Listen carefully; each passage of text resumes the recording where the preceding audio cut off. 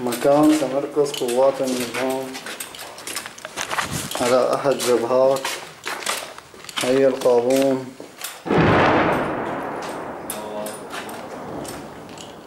خفف شوي خففنا البرد شوي تقديريا هاي رأس نقطة شوي كمان. هاي رأس نقطة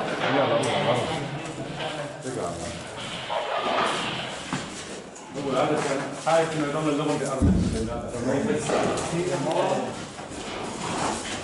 هذا مش هو اللي بس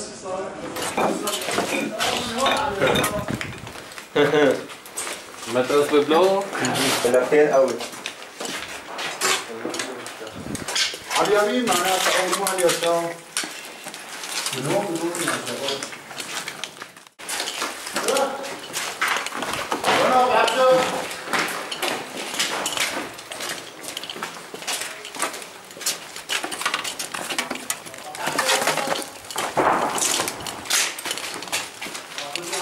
هاي شو هو والله